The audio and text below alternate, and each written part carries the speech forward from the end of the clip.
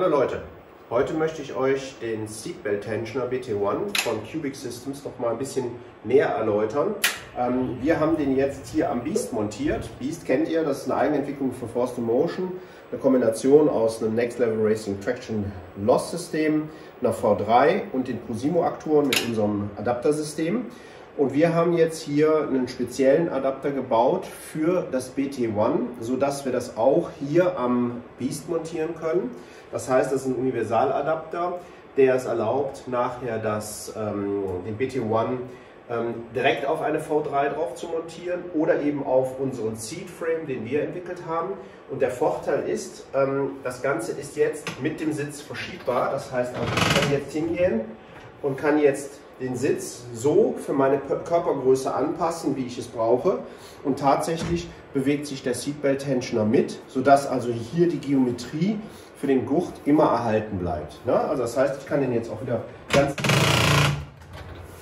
zurückfahren und ich habe hier entsprechend noch Luft dazwischen, damit also auch hier die Lüftungen funktionieren von dem äh, Seatbelt Tensioner. Der braucht hier ein bisschen Luft und nach unten sowieso. Und das Ganze ist eben hier direkt an unserem Seatframe äh, montiert. Wenn der nicht da ist, dann wird eben dieser Adapter direkt auf die V3 montiert. Ja, und das, kann man, das Ganze kann man im Flugmodus benutzen. Funktioniert hervorragend mit dem Flight Simulator, können wir uns gerade mal angucken. Und danach baue ich das Cockpit um ähm, zu einem Renncockpit und dann sehen wir das Ganze im Renneinsatz. Und ja, danach gehen wir dann rüber zum ähm, Cubic-System und bauen das dann komplett in das Cubic-System ein. Auch da hat dieses, ähm, dieser, also das Adaptersystem eine Daseinsberechtigung, weil wir es auch da auf, den, äh, auf die Sitzschiene montieren, sodass wir immer ähm, den BT1 mit dem Sitz verschieben können und so, somit sich hier keine Veränderung in der Geometrie bzw. auch in der Vorspannung vom Gurt ähm, ergibt. Ähm, ja, also ich würde mich mal reinsetzen und mal eine Runde mit euch fliegen. Was man jetzt hier sieht, ist, äh, dass der Seatbelt Tensioner in den Plattformmanager von Next Level bzw. natürlich auch im Cubic Manager integriert ist. Und ich kann jetzt hier mit den ähm, Schiebereglern ähm, verändern, wie der Seatbelt auf verschiedene G-Werte positiv wie negativ reagiert. Und wenn die Kamera jetzt mal zum ähm, Gurt schwenkt, dann wird man sehen, in dem Moment, wo ich jetzt hier nur schon den 0G-Regler bewege, äh, merkt man, also ich spüre jetzt zum Beispiel eine Vibration auch im, im Gurt und der wird schon leicht angezogen und ich kann jetzt einfach mal so ein paar Werte hier verändern. Ähm, und jetzt merkt man auch, okay, jetzt zieht auch der Gurt schon ein bisschen an. Ähm, und das Ganze kann ich jetzt auch einfach im, im negativen Bereich schon mal machen, weil natürlich ganz klar, das sind hier eher so Einstellungen vielleicht für einen Fighter, für eine F-16. Ähm, ich fliege aber tatsächlich eher nur einmotorige Cessnas und Pipers kommentiere die Fliegerei mal hier aus dem Off, weil wir es ein bisschen zusammengeschnitten haben. Man sieht sehr schön hier die Rollbahn Aachen-Merzbrück, mein Heimatflugplatz, wo ich einen Pilotenschein jetzt gemacht habe. Sieht man, wie das ProSimo-System gerade arbeitet und die Unebenheiten der Rollbahn tatsächlich auch übertragen werden. Und wir starten hier auf der 2.5 in westliche Richtung und gleich rotieren wir und dann sieht man, der Sitz kippt ein bisschen nach hinten und gleichzeitig zieht jetzt auch der Seatbelt ein bisschen an. Oder auch jetzt hier bei den spektakuläreren Manövern sieht man richtig, wie der zieht und dementsprechend natürlich dann auch der Druck auf den Oberkörper ähm, dargestellt wird. Ähm, oder eben auch, wenn man ähm, eine richtig schlechte Landung macht und dann äh, crasht. Ähm, hoffentlich sieht das mein Fluglehrer jetzt nicht. Ähm, natürlich vollkommen falsch auf dem Text-CW aufgesetzt, aber man sieht auch hier, ähm, die Gurte lassen dann nach dem Crash wieder nach. In der Zwischenzeit haben wir umgebaut, Lenkrad, Pedale fürs Rennfahren montiert. Biest ist komplett eingeschaltet. Ähm, der Gurt ist noch relativ locker. Der wird sich jetzt automatisch spannen, sobald ich jetzt hier die ersten Meter losrolle. Also mal Gang rein. So, jetzt habt ihr vielleicht schon gesehen, er ist jetzt gerade ähm, gespannt worden. So, hier oben ist immer sehr wellig gespart. Jetzt merke ich, dass langsam Druck auf den Gurt kommt.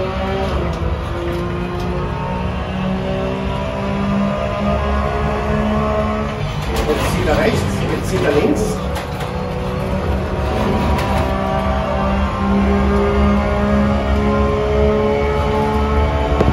Also man bekommt jetzt schon tatsächlich ein Gefühl für Orange, was das für eine Mörderkurve ist.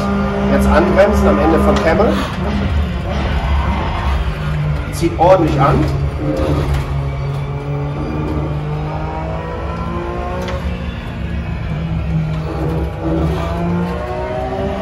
So, und jetzt beim Beschleunigen lässt er wieder langsam nach. Und beim nächsten Bremsen wieder anzuziehen.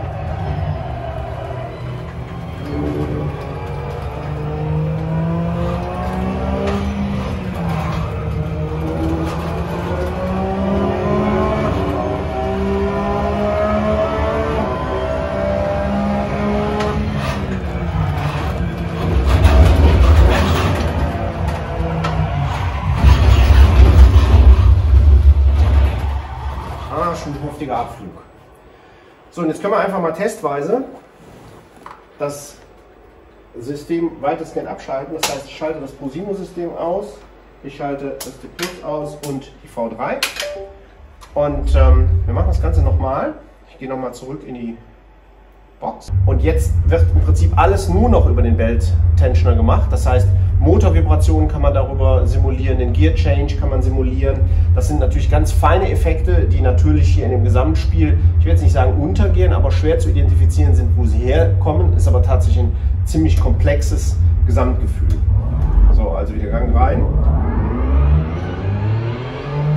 So, er zieht wieder an.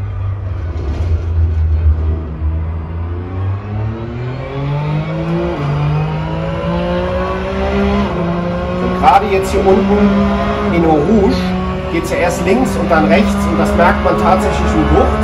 Jetzt zieht er rechts an, jetzt zieht er ein bisschen links an.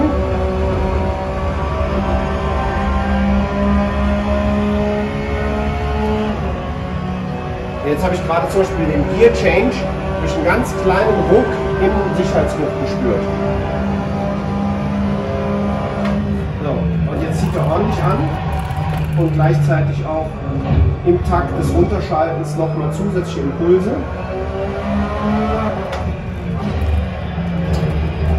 Und davon das Auto.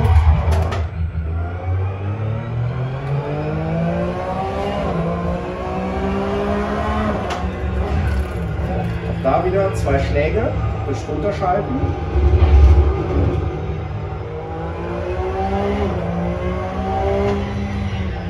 Zieht er rechts ein bisschen an.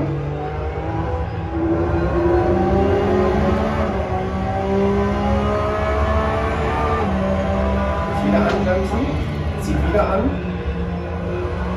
Noch links.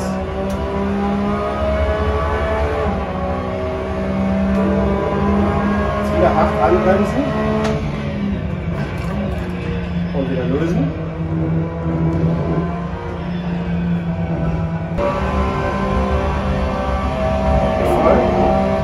Wieder hart anbremsen. Und da merkt ihr auch mit Sicherheit gerade, wie das hinten schlägt im, im Gurtstraffer. Und man merkt hier ordentlich, was für ein Druck auf die Brust kommt.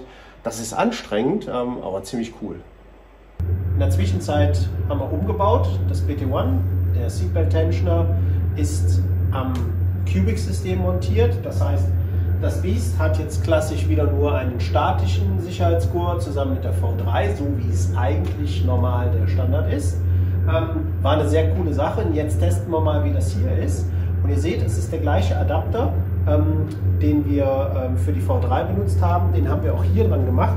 Das heißt, auch hier kann ich jetzt mit dem Sitzverstellhebel ähm, tatsächlich auch meinen ähm, Sitz verstellen, so wie das sein soll.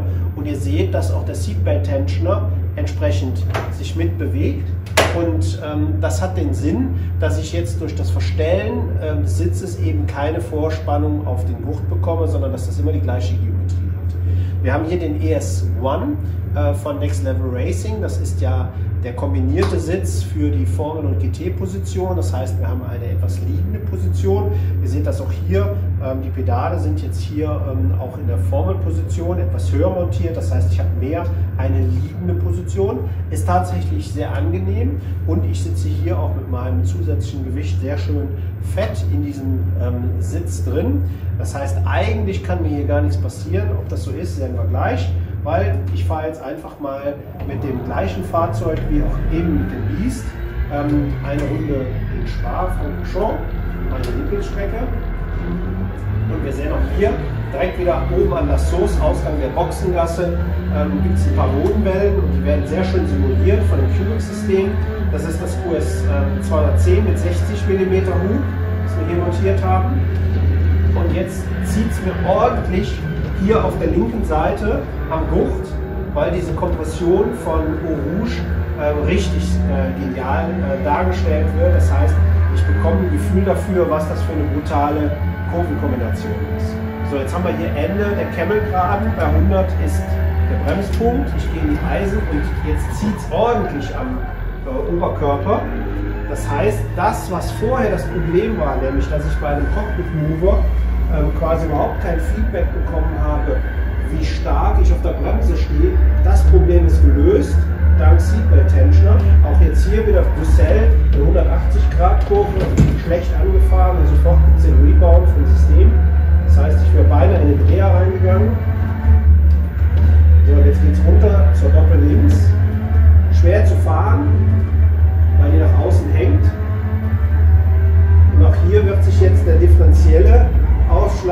bisschen bemerkbar machen. Ich merke jetzt rechts ein bisschen stärker den Wucht als links. Und damit wird jetzt zusätzlich noch etwas simuliert, dass wir also quasi eine Querbeschleunigung bekommen. Jetzt kommt die Rechts-Links-Kombination, Untersteuern. Einer den Dreher gemacht und man sieht dann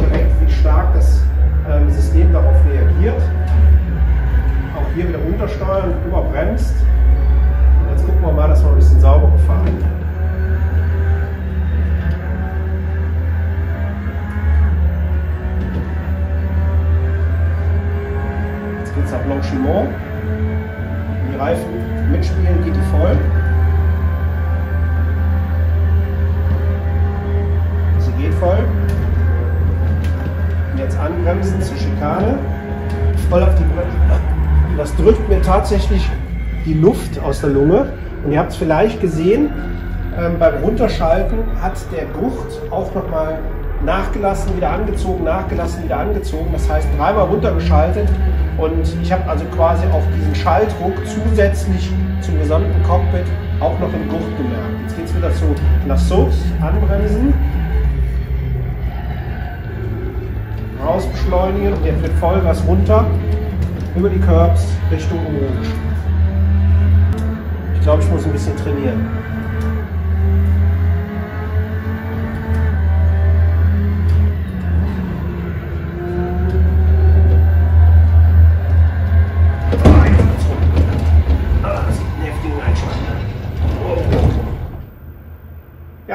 Fahrfehler werden also auch richtig bestraft, wie im echten Leben.